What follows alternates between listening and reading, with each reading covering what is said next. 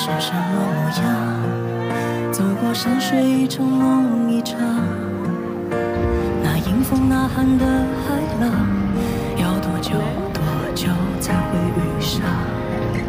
冒险的人是否会感伤？终极璀璨一生谁收藏？那深埋心底的愿望，要多久多久才会登场？十八号，周深参加我们的毕业歌成都音乐会彩排，现场演唱了《若梦》和《璀璨冒险人》两首歌曲，两种风格不同的歌曲直击人心，响彻全场，现场稳如 CD，太好听了，让人期待不已。周深在彩排结束之后，特意拉开幕布跟粉丝打招呼，他真的好暖心。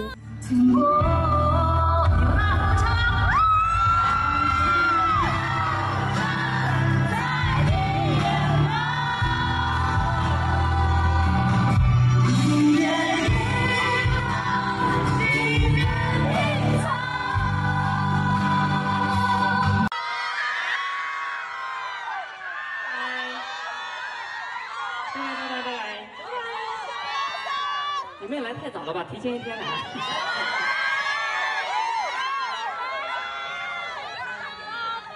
拜拜，谢谢。《璀璨冒险人》这首歌曲不但有着很高的热度，而且歌曲的主题与当下这个时间点非常的契合。《璀璨冒险人》讲述的是少年追逐梦想的故事，相信那些即将毕业的学生一定会像歌词描述的那样，怀揣着自己的理想，奔赴下一程山海。顺带一提，自从歌曲发布之后，《璀璨冒险人》这首歌已经多次登上了舞台。每一次演唱歌曲的时候，周深都会做到又稳又炸。相信在毕业歌会上，周深一定会给大家带来一场高质量的表演。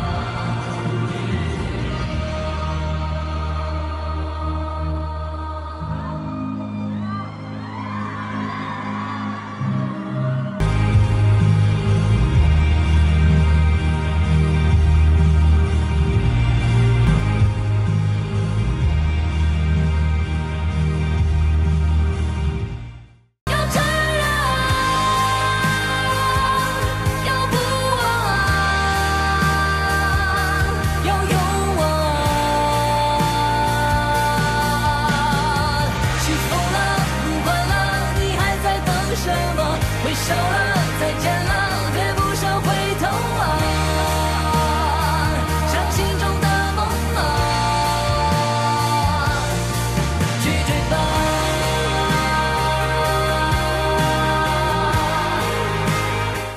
提的是，在看完节目单之后，有些人会觉得惋惜，因为周深演唱的歌曲实在是太少了。说实话，我对于这件事并不是很在意。要知道，参与完毕业歌会，处理好其他的工作之后，周深还要奔赴凤凰音乐节，在演出之前，他肯定需要花比较长的时间完善舞台的细节，以及调整自身的状态。要是大家觉得毕业歌会没有听爽，大家可以相约凤凰音乐节。要知道，在凤凰音乐节，周深可是有四十分钟的演出时间。周深在魔都音乐节的演出视频，我已经回顾很多次了。对于蓄势待发的凤凰音乐节，可以说是相当的期待。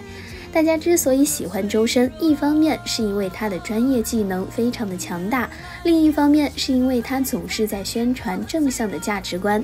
那些即将毕业的学生们，三观还处于养成阶段，他们多接触周深真的有好处。周深经常说的一句话，那就是大家一定要先过好自己的生活，再去做其他的事情。